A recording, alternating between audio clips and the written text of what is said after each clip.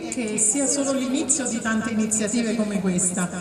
Il Comune di Napoli ha partecipato alla giornata mondiale del libro e del diritto d'autore, mettendo Portalba al centro degli eventi. Reading e musica nella storica via dei libri per l'appuntamento che diventerà permanente all'interno della programmazione culturale della città di Napoli, curato dall'Associazione Culturale Portalba, ACE, l'Associazione Campana Editori e Napoli Città Libro nell'ambito delle attività del Patto per la lettura del Comune di Napoli che mira alla diffusione della cultura del libro in città. Ascoltiamo ai nostri microfoni Alfredo Mazzei, presidente dell'Associazione Culturale Portalba. Un bel evento, abbiamo messo insieme molti autori, scrittori, performance a Portalba, è una delle prime iniziative dell'associazione, non la prima, eh, sono qualche mese che mm, promuoviamo queste iniziative, altre ne faremo, stasera sarà un evento di, di spettacolo, di cultura, di divertimento per promuovere l'associazione e far ritornare la strada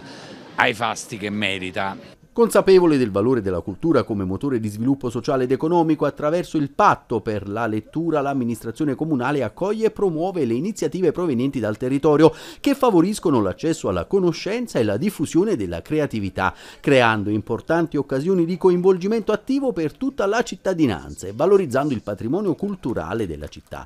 Tantissime le persone intervenute per una riflessione sull'importanza dei libri e del diritto d'autore nella società con letture e approfondimenti. La poesia è sempre un piacere da, da, dire, stare con la gente, in mezzo alla gente per parlarne e farla sentire, quindi è una coccola per il cuore. Il libro arricchisce, arricchisce la mente, arricchisce la vita, dà la possibilità di avere delle visioni di un mondo eh, altro da sé. Cosa ci spinge a leggere? Credo che quello è la stessa cosa che ci spinge a, a, ricercare sempre qualcosa che è dentro di noi e che noi ricerchiamo nella lettura per trovare qualcosa che ci risuoni.